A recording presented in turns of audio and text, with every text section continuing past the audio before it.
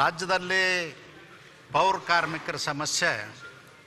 ಹಿಂದೆ ಪೌರ ಕಾರ್ಮಿಕರ ಕುಟುಂಬದಲ್ಲಿ ಜನಿಸಿರ್ತಕ್ಕಂಥ ಐ ಪಿ ಡಿ ಸಾಲಪ್ಪನವರು ಬೆಂಗಳೂರಿನಲ್ಲಿ ಶಾಸಕರಾಗಿದ್ದರು. ಅಂದಿನಿಂದ ಹೋರಾಟಗಳನ್ನ ಮಾಡ್ಕೊಂಡು ಬಂದಿದ್ದರು ಸರ್ಕಾರಿ ನೌಕರರತ್ತು ಪರಿಗಣಿಸಬೇಕು ಅಂಥೇಳಿ ಆದರೆ ಆಗಿರಲಿಲ್ಲ.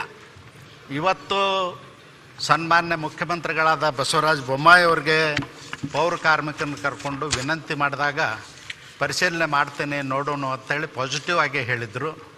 ನಿನ್ನೆ ದಿನ ಪೌರ ಕಾರ್ಮಿಕರಿಗೆ ಹನ್ನೊಂದು ಸಾವಿರದ ನೂರ ಮೂವತ್ತ್ಮೂರು ಮಂದಿಗೆ ಸರ್ಕಾರಿ ನೌಕರರು ಅಂತೇಳಿ ಪರಿಗಣಿಸಲಿಕ್ಕೆ ಸಚಿವ ಸಂಪುಟದ ಒಪ್ಪಿಗೆಯನ್ನು ಪಡ್ಕೊಂಡಿದ್ದೀವಿ. ನಾನು ಯಾಕೆ ಈ ವಿಷಯ ಪ್ರಸ್ತಾಪ ಮಾಡ್ತೇನೆ ಅಂದ್ರೆ ಕೇವಲ ಬೆಂಗಳೂರಿಗೆ ಸೀಮಿತವಾಗಿ ಹೋರಾಟಗಳಾಗಬಾರ್ದು. ಇಡೀ ರಾಜ್ಯದಲ್ಲಿರ್ತಕ್ಕಂಥ ಪೌರ ಕಾರ್ಮಿಕರು ಪಟ್ಟಣ ಪ್ರದೇಶದಲ್ಲಿ, ನಗರ ಪ್ರದೇಶದಲ್ಲಿ ಇರ್ತಕ್ಕಂಥವ್ರಿಗೆ ಆಗಬೇಕು ಅಂಥೇಳಿ.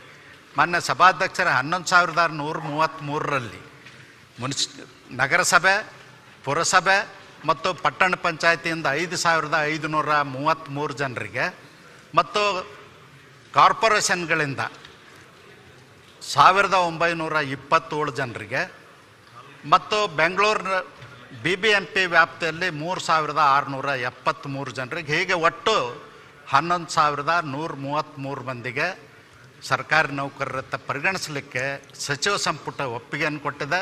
ಅದಕ್ಕಾಗಿ ನಾನು ಆ ಸಮಾಜದಿಂದ ಬಂದಂಥವ್ ನಾನು. ತಮ್ಗೆ ಗೊತ್ತಿರಲಿ, ಅಂಥ ಕುಟುಂಬಗಳಿಂದ ಬಂದಂಥವ್ ನಾನು. ಅದಕ್ಕಾಗಿ ಸನ್ಮಾನ್ಯ ಮುಖ್ಯಮಂತ್ರಿಗಳಿಗೆ ಮತ್ತು ಸಚಿವ